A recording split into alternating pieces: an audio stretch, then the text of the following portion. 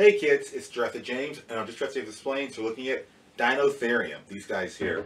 Now, this is a special request, make sure you get the names right, uh, from Crows, our doctors, two weeks ago, and also Griffin Dale Allenson, both requested Deinotherium, so here we are.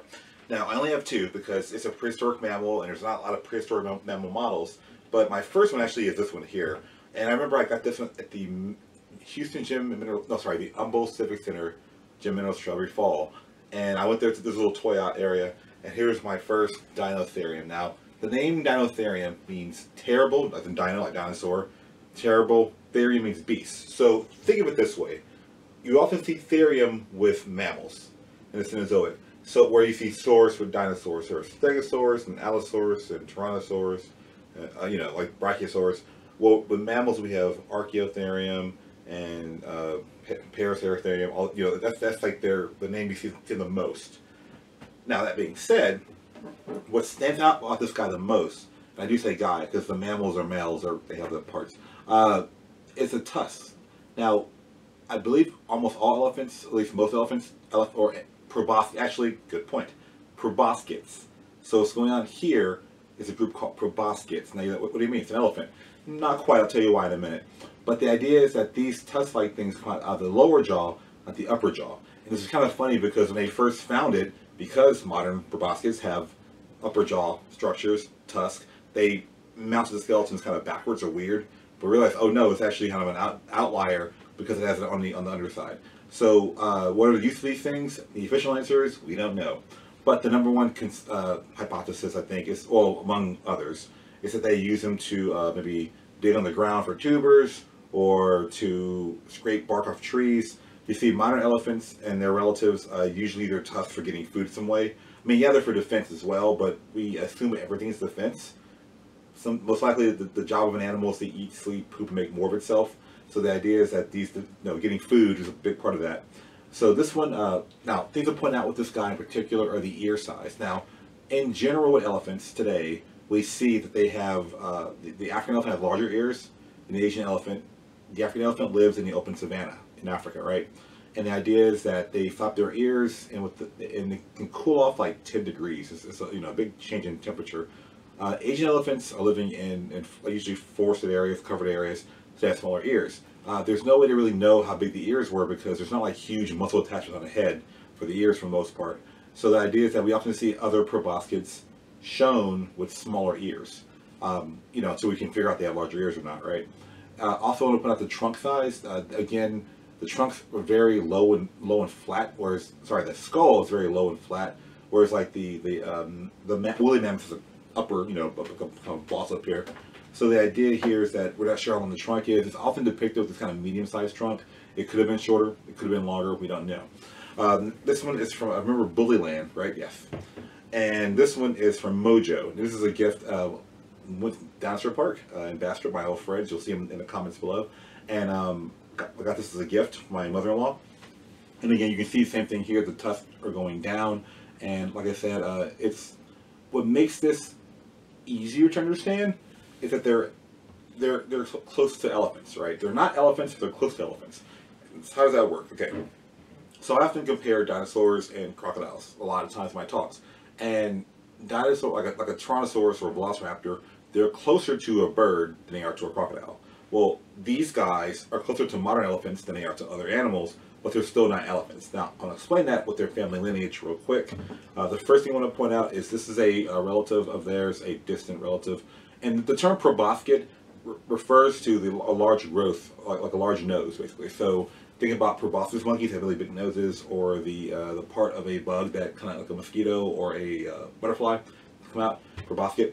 So basically, these guys have trunks for the most part. And one of the earlier ones we ha I have in toy form, at least, is this guy here. It's called Amebelodon. Uh, if you ever go to the Museum of Natural Science, there's a Platybelodon, which is the same kind of thing. There's a, a skeleton and a picture of being chased by a megalodon in, in the shallow water. That's what we're looking at here. Uh, these are called shovel tuskers a nickname because the tusks on the bottom are like big and flat like shovels and no one knows why, like why that's a thing. So the idea here is that they may use these kind of weird vegetation, but they have tusks on the bottom and on top. Another relative are Gomphotheres. These guys here have two on top, two on the bottom That's seen a lot in, in this like the Miocene time frame. Right, speaking of that, these guys live from the Miocene to the early Pleistocene or Ice Age, right? So pretty pretty cool range for an animal.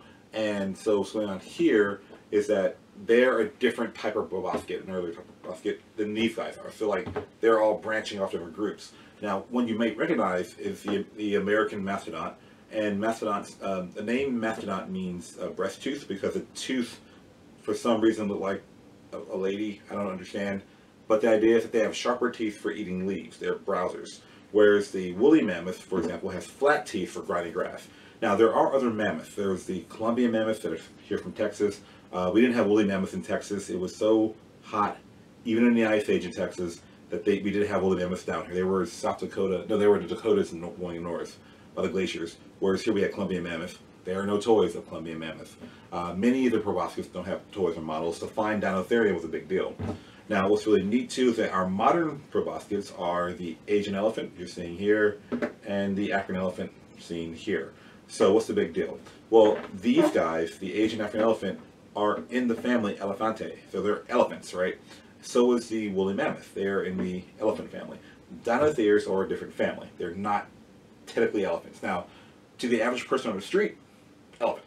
Very similar body plan, very design, but they're not actually elephants. It's kind of a big deal for us because it's like calling, uh, you know, you look at the Oviraptor, they're not dromaeosaur raptors. They're not like the ones we've seen, you know, Jurassic Park style raptors. They're a different kind of animal. But they're similar in name or similar appearances, but they're still branching off. Well, the idea is that Deinotherium here, these guys are not true elephants, but they're closest to modern elephants in the fossil record, right? And I've been thinking about the uh, this one here against. So what's really fun about this is looking at the animal, you can see, you know, I mean, the, the artistic recreation borrowed heavily, heavily from elephants because, you know, same kind of thing for the most part, officially. But again, there are a lot of things that we can't fully know. And my example of this is the, uh, the documentary Prehistoric Planet. It just premiered last week. I, and I remember watching it with my wife, and she was saying, do we know that? Do we know that? And I'm like, oh, not really. This is based on this, like that. And the idea, but the idea that I liked a lot about the documentary was it was a big. It showed the animals as animals. It showed these. There's all these weird things that paleontologists can will probably never figure out the animals did in the fossil record. Like people, what do you, what keeps you up at night? For, for astronomers, it's like I guess asteroids. But for me, as a paleontology person, it's like there are things these animals did that we will never understand. These weird behaviors. So even though this animal looks like an elephant, has a very similar structure to an elephant, there's probably some kind of weird behavior or social cue that it may have had that we have we wouldn't understand and can't fossilize. But we can still compare lots its appearances. Now that's where it sits on the family tree of proboscids. That being said, who lives with Deinotherium? Well, there was one of the I think Walking with documentaries, and it shows our ancestor Australopithecus being chased by one of these guys.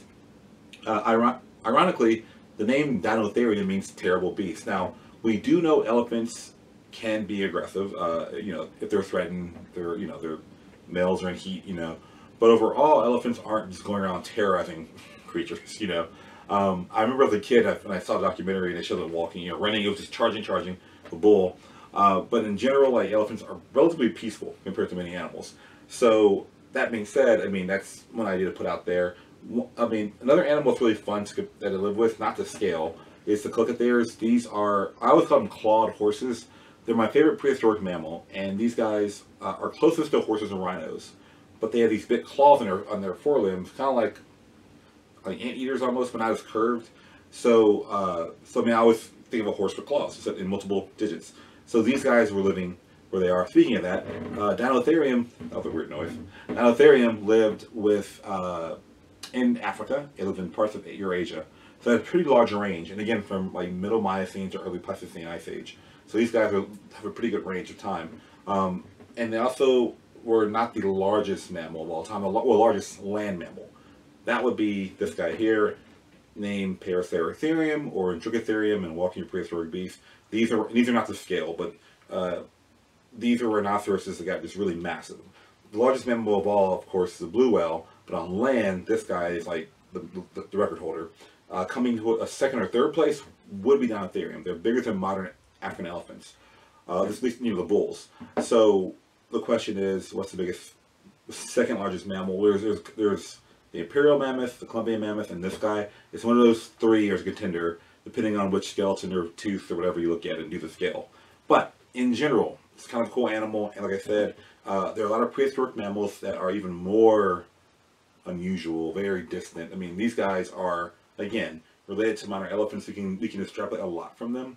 But I will tell you this, um, when we find mammoths, for example, or particularly, you know, Columbian mammoth, but in the case woolly mammoth, uh, we associate the same lifestyle of elephants where there it, there's the females, the matriarchs, has a herd, the offspring moving around, and the males being solitary. We say that with modern elephants too.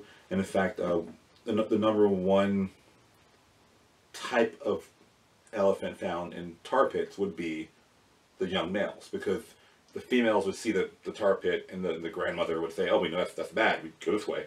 But for uh, a young male who's alone and in water, will just go in tar pit, right? Uh, we do see that some male elephants today will bond, group, make little groups, like, not would take roving gangs, but they hang out together. So um, I don't recall seeing any papers saying that we can see that kind of grouping with dino theorists. In fact, here in Texas at the at the Waco uh, this mammoth site, there was, was like a where these rivers converged or came, you know, and you see like a not, I wouldn't say nesting ground. They're not birds or dinosaurs, but you see these all these female Columbian mammoths and their babies in this one area. It's kind of an unusual find. So you can see that kind of behavior there, right?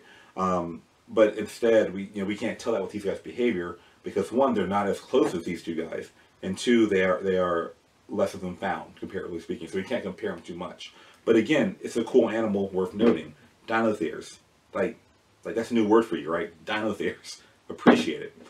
That being said, I'll see you next week. My first pterosaur. Oh right, YouTube wants me to tell you things. Uh, to push one of the boxes or circles, and it will say to subscribe or share or tell a friend because uh, I literally do this for fun. I have like a full-time, overtime job that I spend time doing all kind of stuff at the museum and other places, and my own personal business that I do stuff at too. So like, if you have an idea, comments, whatever, let me know. Again, this is a request. Uh, I do have videos shot for like till, July actually, but in, because Jurassic World's new toys have come out. But anyway, but tell us in the comments and the, the boxes or whatever. Thank you. Bye.